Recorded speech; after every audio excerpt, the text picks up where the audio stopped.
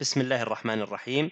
نكمل مقرر تقييم وتشخيص صعوبات التعلم ونبقى مع الوحدة الثالثة أساليب قياس وتشخيص صعوبات التعلم ونتناول اليوم الدرس الثالث بعنوان مقياس اليونويل القدرات السايكو لغوية اثنين.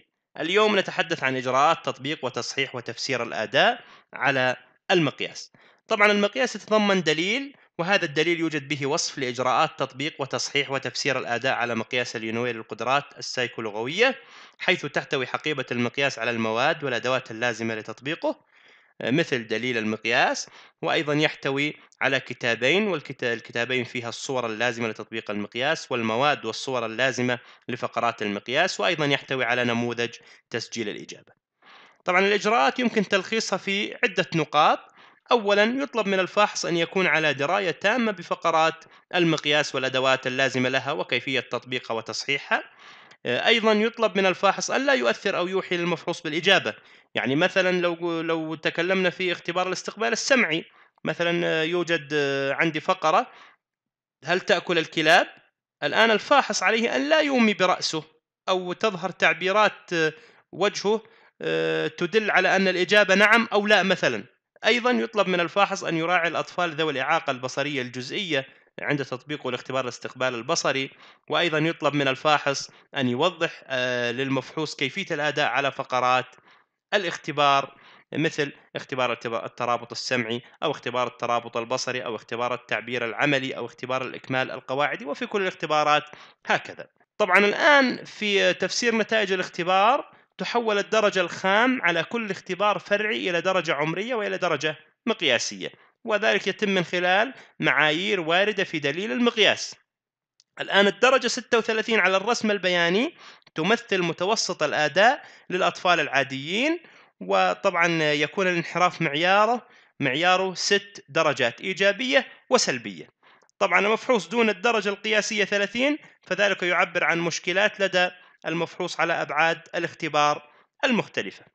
الآن لو تناولنا مظاهر قوة المقياس وتحدثنا عنها نتحدث عن أن المقياس هو من المقاييس المشهورة في مجال التربية الخاصة عموما طبعا وخاصة في مجال صعوبات التعلم.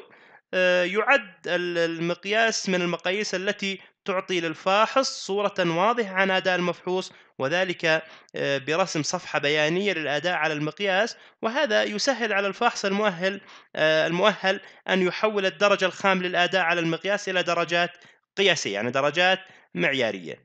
أيضا يعد المقياس آه، من المقاييس الشاملة لعدد من لعدد من مظاهر اللغة الاستقبالية والتعبيرية ولذلك طبعا هذا المقياس يعطي وصفا شاملا لأداء المفحوص على المقياس. أيضا يعد المقياس من المقاييس التي درست بعناية يعني أجريت عليها الكثير من الدراسات وأيضا يتم تدريسه في الجامعات و الكليات. لو تناولنا الآن مظاهر ضعف المقياس نتكلم أن المقياس يتضمن مصطلحات غير إجرائية آه، يعني مصطلح القدرات النفس لغوية وهذا آه، مصطلح يصعب فهمه وتفسيره حتى للمختصين.